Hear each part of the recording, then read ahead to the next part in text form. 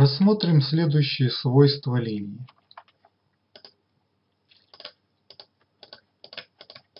Создадим внутри линии несколько сплайнов. Один из них замкнем. Правой кнопочкой отключим команду создания.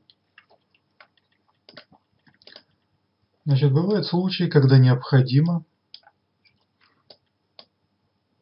в определенном месте сделать разъединение контура. Для того, чтобы это сделать, можно воспользоваться командой break. В этой точке создается разъединение и две точки получаются, которые принадлежат различным частям данного контура.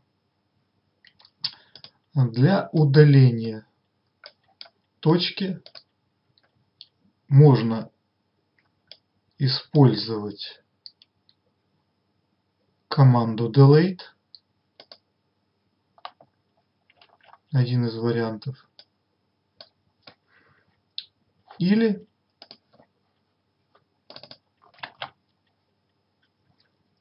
или соответствующую кнопку на клавиатуре Delete, она также срабатывает.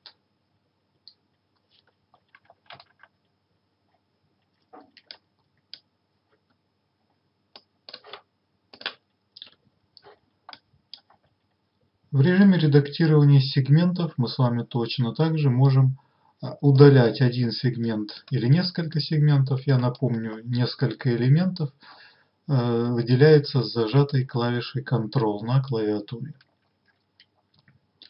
Мы опять-таки можем использовать ту же команду Delete э, во вкладке геометрии, либо мы можем использовать Delete на клавиатуре.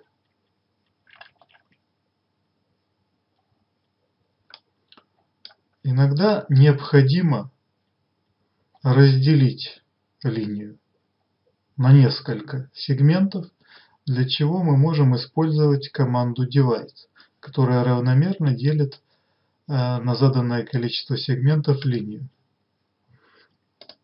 Значит, если необходимо поделить, допустим, на 10 сегментов, мы указываем количество сегментов и нажимаем команду divide. Равномерно делится э, выделенный фрагмент выделенный сегмент на соответствующее количество линий. Установим обратно на начальное значение данный параметр. И в режиме сплайнов мы с вами тоже можем совершать операцию удаления сплайнов этой же командой с помощью кнопочки Delete либо Delete на клавиатуре.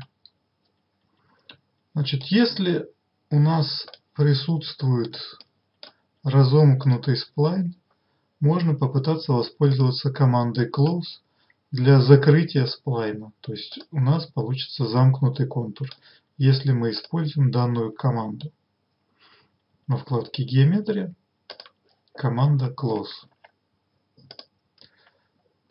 Также здесь присутствуют кнопочки скрытия Hide геометрии сплайна и кнопочка Unhide. Эта кнопочка все скрытые сплайны отображает заново. Чуть ниже располагается довольно интересная команда, которая называется Explode разрушить. Что она позволяет сделать? У нас есть цельный сплайн замкнутый, например. А если здесь э, разрушение выбрано в режиме сплайнов, после нажатия на эту кнопочку каждый сегмент э, является э, будет являться отдельным сплайном, независимым от всех остальных.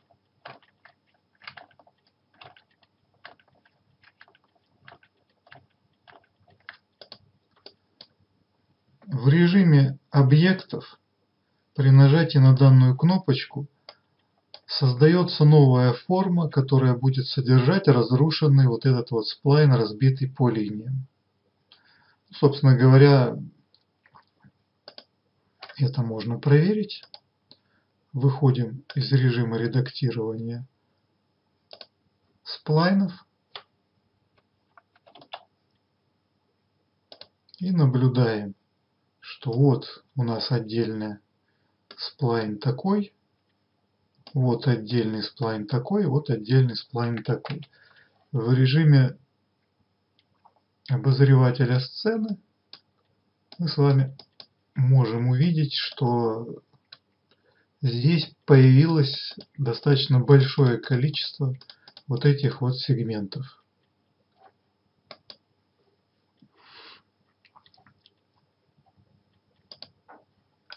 Вернемся в режим сплайна и, допустим, активируем команду Attach Multi и присоединим все эти элементы обратно в единый сплайн. Но они у нас теперь являются различными частями. Что же необходимо сделать, чтобы вот эта вот часть а, была единым сегментом, единым сплайном, то есть выделить все эти элементы, ну и э, перейти в режим точек, вернее выделить все эти точки в режиме точек и нажать кнопочку сварки объединение элементов. После того, как точки были объединены, мы получаем опять единый контур сплайна. Таким образом мы можем соединять объекты воедино. Команда Fuse, команда Weld. И мы с вами опять получили единый сплайновый контур. Для упрощения работы по моделированию можно установить э, автоматическую сварку вот в таком вот режиме. Значит, она у нас работает практически везде. В таком случае, если мы наводимся на близкое вот к предыдущей точке расстояние, она будет автоматически объединена, если стоит галочка автоматический велдинг, автосварка. Вот, подвели. И получили опять-таки единый замкнутый контур. По умолчанию галочка автоматического объединения точек отключена. Нами было не затронуто, не затронут свиток Soft Selection, так называемое мягкое выделение. Значит, что позволяет делать мягкое выделение? А, когда мы с вами перемещаем в определенном режиме редактирования выделенный объект, то в основном это действие распространяется сугубо на него. А ну давайте вот допустим выделим вот эти вот два сегмента и командой divide разобьем их на 5 элементов, ну, примерно. И вернемся в режим точек. Если мы управляем одной точкой, то, естественно, будет изменяться только ее местоположение. Но если у нас сложный контур, а, и мы хотим немножко сместить ряд этих объектов,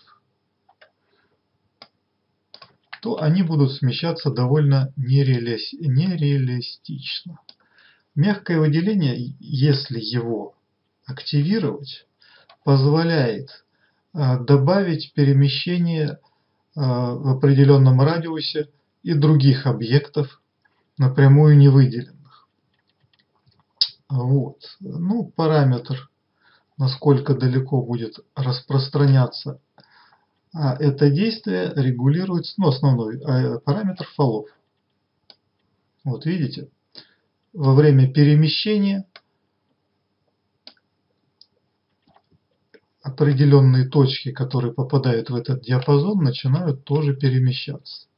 Насколько далеко, значит, тут цветом показано, красным цветом будет демонстрировано то, что будет э, максимально изменяться – ну и дальше различными цветами степень этого дела продемонстрирована.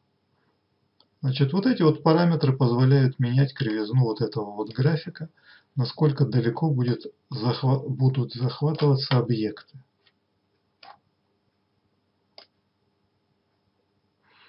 при перемещении.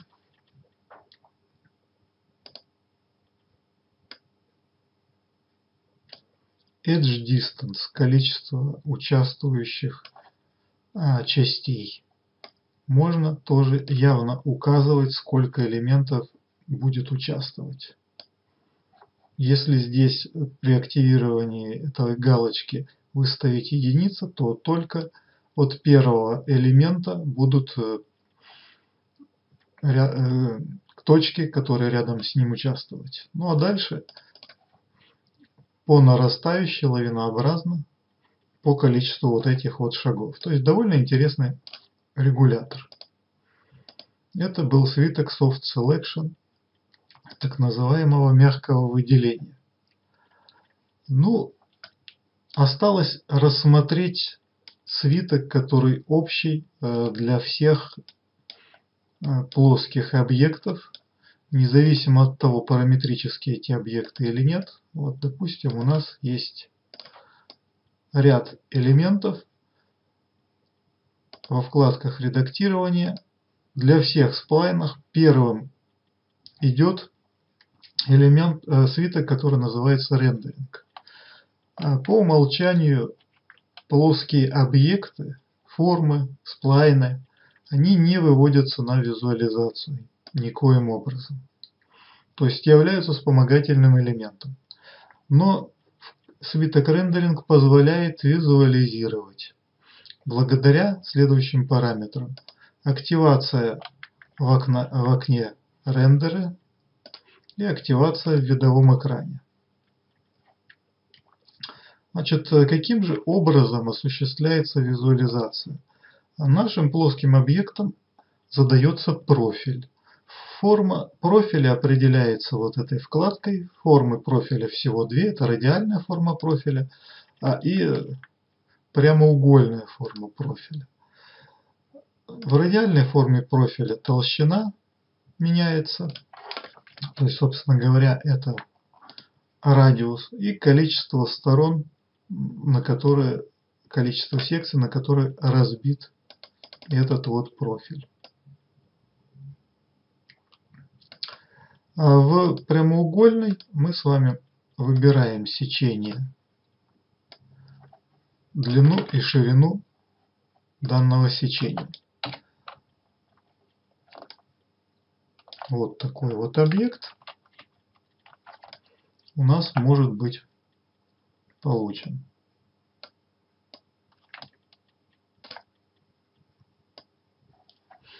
Угол позволяет задать искривление.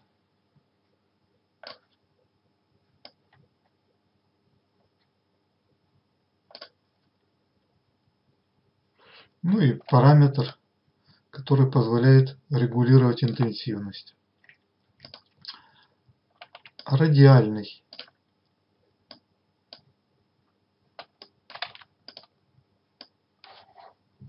Ну, на радиальном изменение угла не так заметно.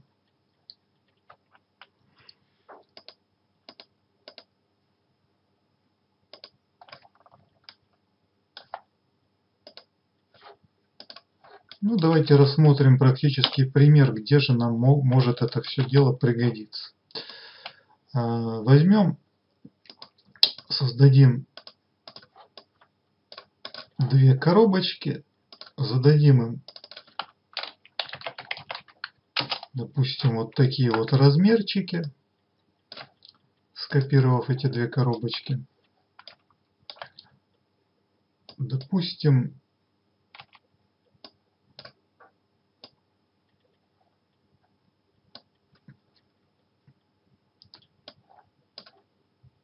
установим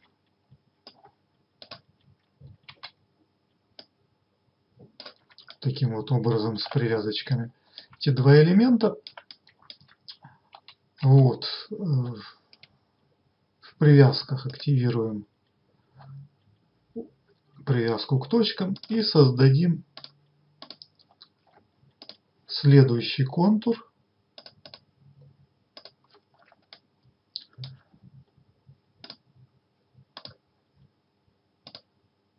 По граням.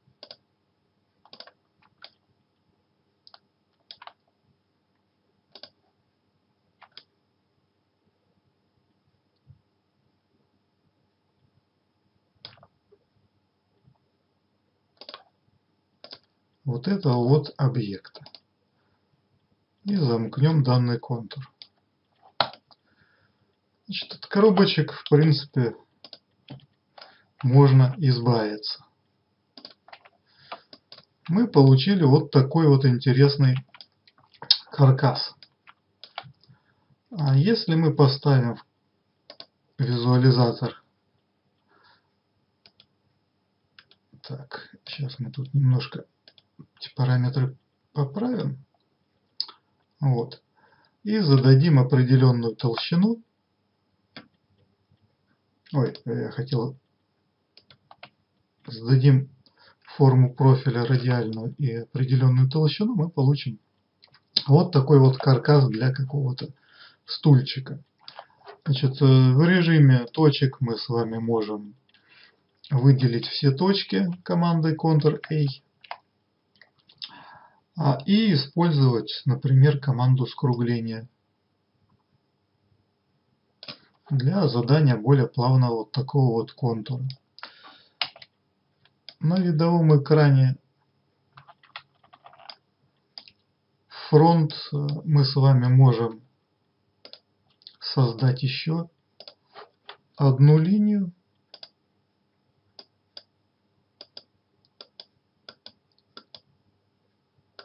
Ну, в форме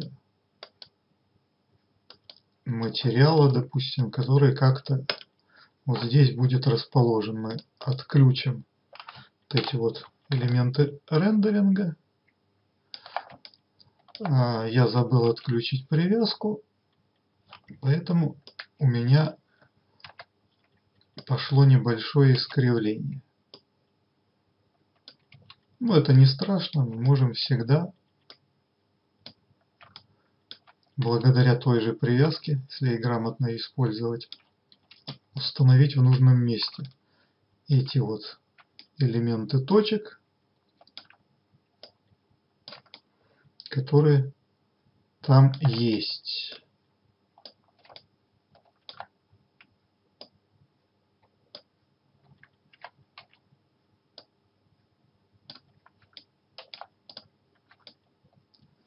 Вот. Ну и останется использовать, например, модификатор, который позволяет выдавливать поверхности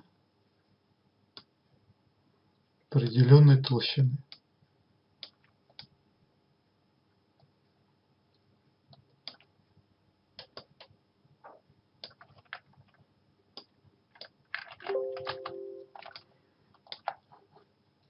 Ну а сверху можно применить модификатор, который эту толщину, собственно говоря, и задаст.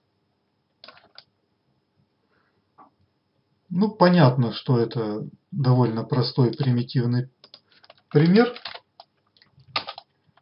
Но, тем не менее, он показывает, как за несколько секунд исключительно с плайнами можно создать э, определенный каркас, ну или определенный объект. Благодарю за внимание. Развивайтесь вместе с нами.